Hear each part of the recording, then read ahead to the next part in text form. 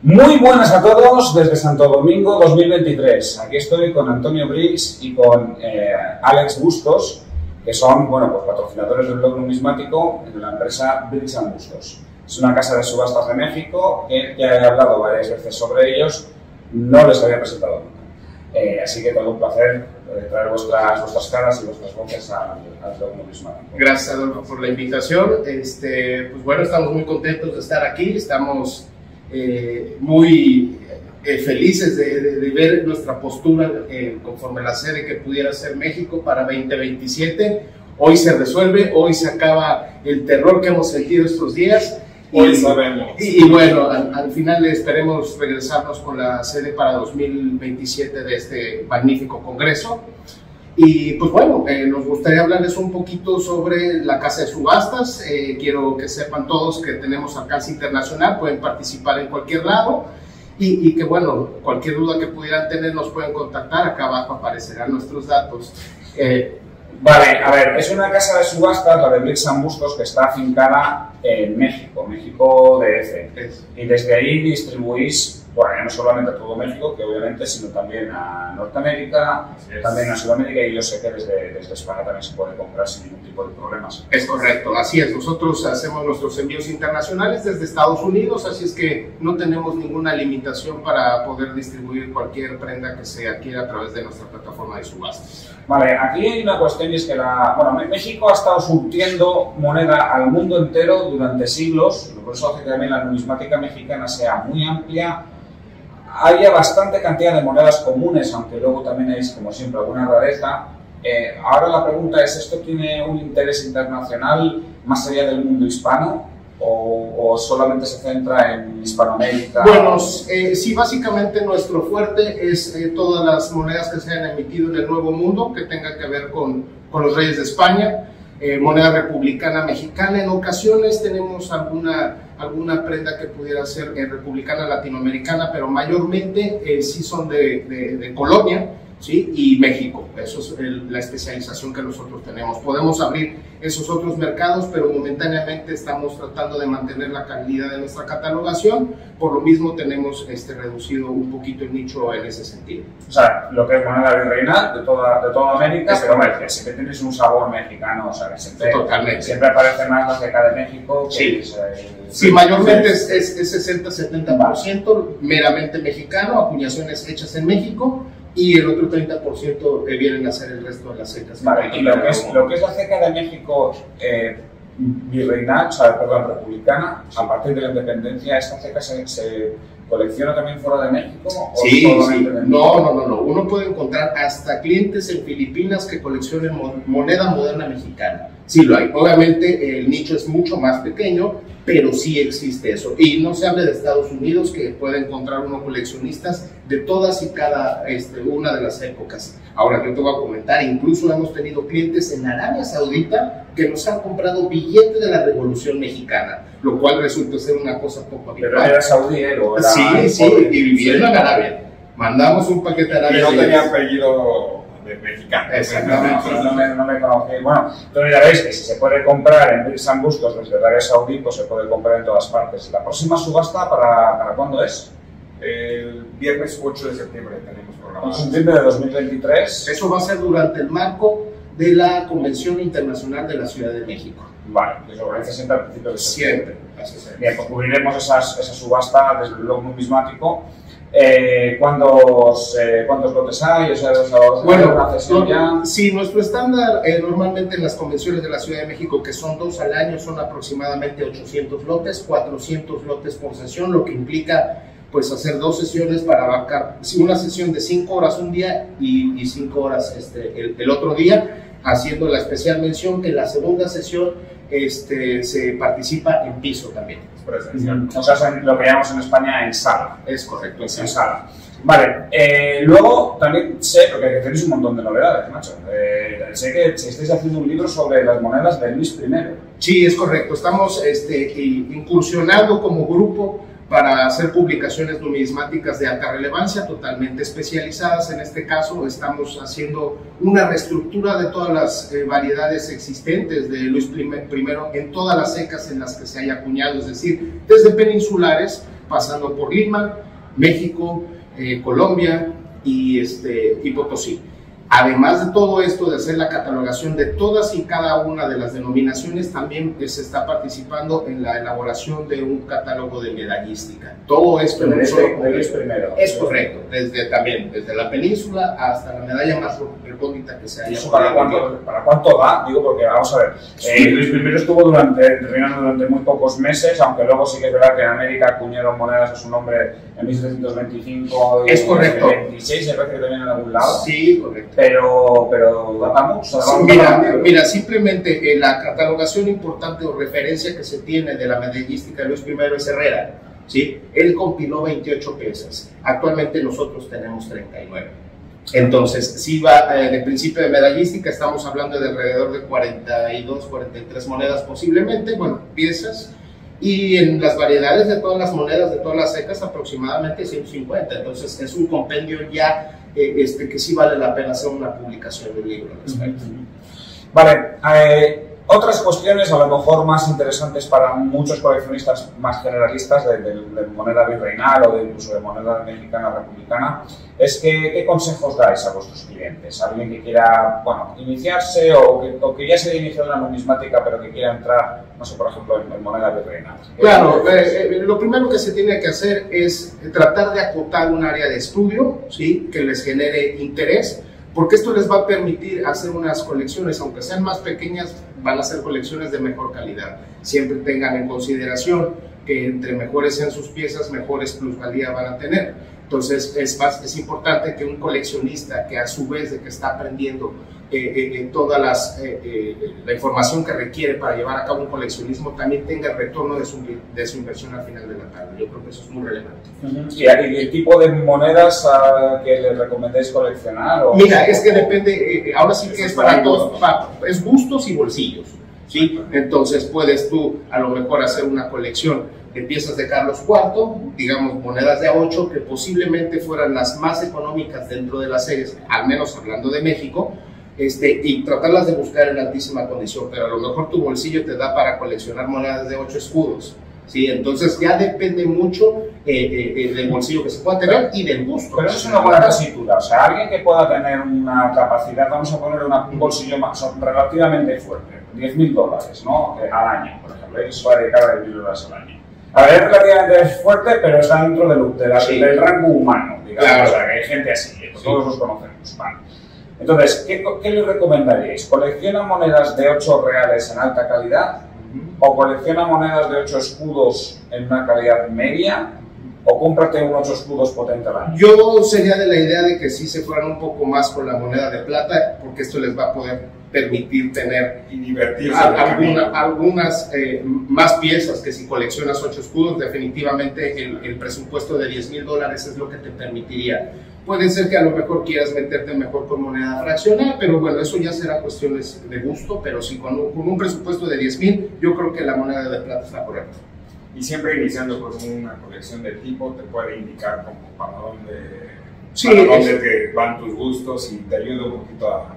Eso ir el también es, es, una, es una forma importante de coleccionar o, o inteligente, Sí. empezar a comprar por tipo con el efecto de que te familiarices con lo que a ti te gusta y posteriormente armes algo especializado de lo, de lo que finalmente decidiste que quieres coleccionar. Claro, o sea, que no, no es tan, cuando has dicho hay que acotar y demás, no te refieres a decir, venga, yo voy a acotar y voy a coleccionar Carlos IV y me hago todas las fechas y no sé qué, sino que puedo decir, bueno, venga, me voy a meter una CK de México, pues venga, un, un 8 reales, un columnario de Felipe V, otro de Fernando VI, otro de Carlos III, luego me meto todas las macuquinas, Correcto.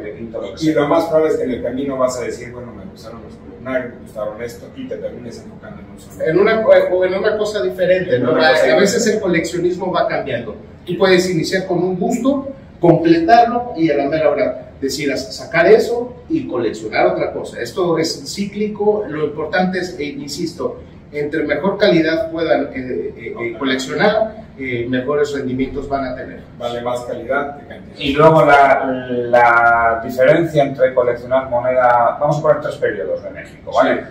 O sea, macuquinas, eh, moneda republicana, perdón, moneda virreinal a, a volante y moneda republicana.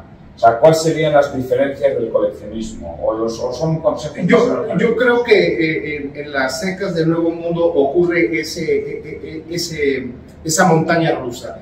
Vamos a tener como base una colección colonial, posiblemente iniciando con macuquinas, luego pasando a las monedas elaboradas ya en volante, que siguen siendo este, a nombre de los reyes, y posteriormente algo de republicano posiblemente eh, en muchas ocasiones lo que ocurre es primero entran a la parte republicana de su país y posteriormente se van adentrando hasta llegar a la moneda macuquina, que es la última que normalmente se toma por complejidad. Muchas veces lo que es exactamente, el coleccionista empieza por el final y luego va echando esas Es correcto, así es. en el tiempo. Pero, pero alguien que diga, venga, yo solo quiero coleccionar moneda macuquina, ¿a ese qué le diréis? ¿Lo mismo de lo anterior? O, Bueno, lo primero es allegarse de la, de la, de la bibliografía correcta, ¿sí? para que empiecen a conocer los tipos y, vamos a caer al supuesto que, ya les indiqué. Vas a determinar y vas a contar qué te gustaron. ¿Te gustaron las monedas de a 8? ¿Te gustaron las, las monedas de 4? ¿Qué fue lo que te gustó? Hacer un pequeño ponlo por tipo y posteriormente ya de ahí comenzarte a especializar en lo que realmente vas a coleccionar. Claro, pero, la macuquina de México puede ser totalmente infinita, porque cada, cada, Claro. moneda, cada moneda sale distinta. Mira, son las de Felipe V, hasta que tienen unas formas tan raras. Claro.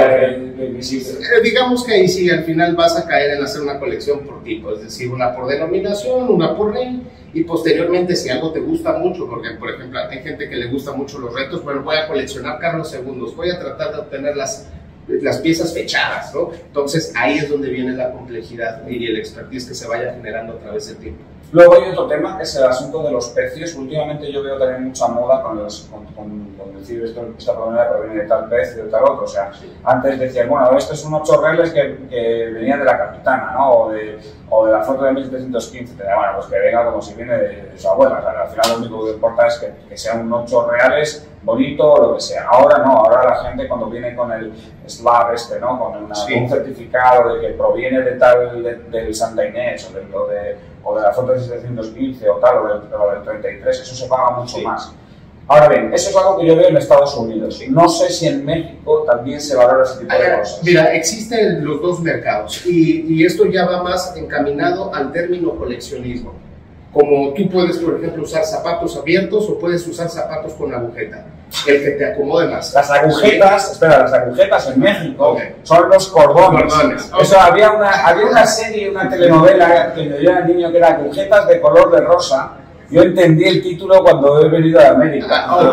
Pero que yo de niño, como no sabía tal, pensaba que era, nosotros las agujetas son los dolores musculares. Ah, ok, ok. Bueno, entonces ya, perdona, después de la salvedad cultural aquí, sí. No, bueno, eh, eh, entonces eh, ya depende por gustos. Habrá gente, por ejemplo, un especialista en macuquinas prefiere una moneda un poco deteriorada en lugar a que tenga corrosión, por ejemplo. Tú ahorita hablaste de los naufragios. Los naufragios son cosas que tienen su mercado en particular. Entonces, eh, por eso va encaminado más a la palabra coleccionismo. ¿Cómo te gusta coleccionar? ¿Quieres llegar al- al- a la tabla máxima de graduación este, que le corresponde a cierta pieza? Bueno, esa es una manera de coleccionar.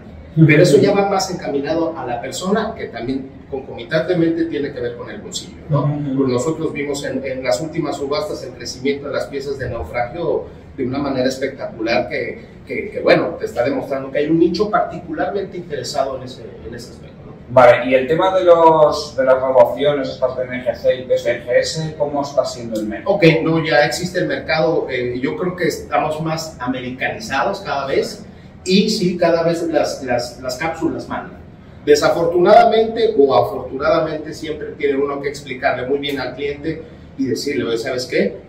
Esto es una manera de rankear una pieza, pero no significa que porque tenga el grado más alto significa que sea la mejor pieza disponible. Entonces, eso es lo que hay que dejar muy claro. No hay que irnos ni a la extrema izquierda ni a la extrema derecha. Hay que ser un poquito conservadores, usar un poquito el criterio y decir, oh, vale la pena en esto, en esto no vale la pena.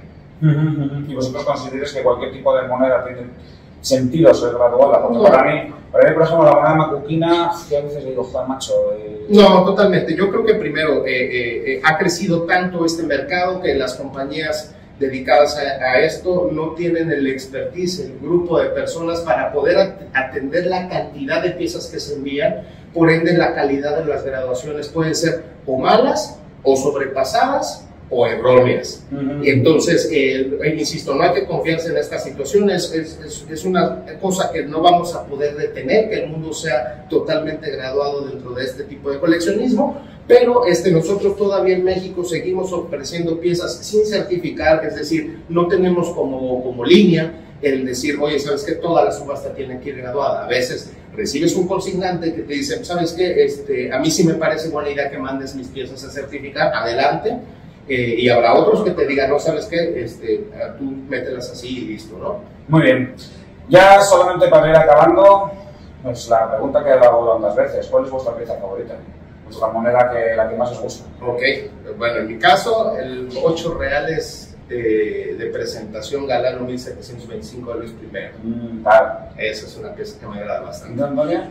Por acá yo creo que tendría que ser de Iturbide y siempre me han llamado mucho los pollitos, que el, el águila que parece pollito. Ah, los, los pollitos muy bonitos. Acaba de salir uno espectacular, no sé si lo llegaste a ver, de la colección este, Tyrant.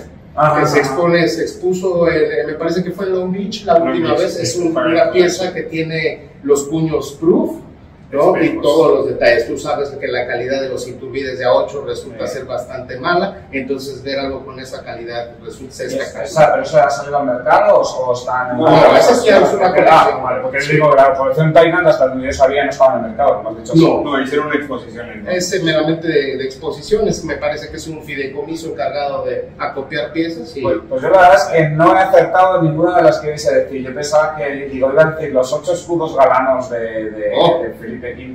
ya son muy exóticos. Sí, ya- ya- la otra sería el, el ocho reales de Juana y Carlos Larrincón, vamos, el, el primer reales. sí. de- Mira, es difícil poder este, tener una pieza favorita ahorita precisamente porque tenemos esta cuestión de Luis I.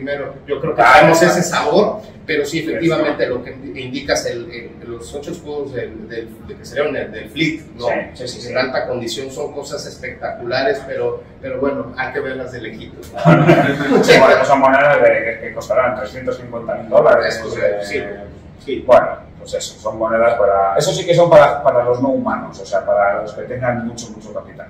Bueno, pues eh, nada, bien, muchísimas gracias por atendernos. Yo creo que eh, queda claro, ¿no? Pues tenemos una casa de subastas en México donde todo el mundo podemos participar. Desde Hispanoamérica, desde Europa, desde Estados Unidos se puede pujar con total confianza. Y desde Arabia Saudita. Y desde Arabia Saudita incluso. Y Y luego, la aplicación es muy sencilla también. Sí, que es sí, lo más sí, importante. sí, sí, sí, es una- Utilicéis un software que además es bastante conocido entre casas de subastas, que si habéis pujado por algunas casas de subastas os va a resultar eh, muy, muy, muy familiar. Y luego, pues estos consejos yo creo que son muy interesantes para todos los coleccionistas, así que nada, pues os tengo que agradecer, muchas gracias y ya mi- miraremos vuestra subasta. muchísimas gracias, estamos a la orden para lo que se les ofrezca. Nada, un saludo a todos y hasta pronto.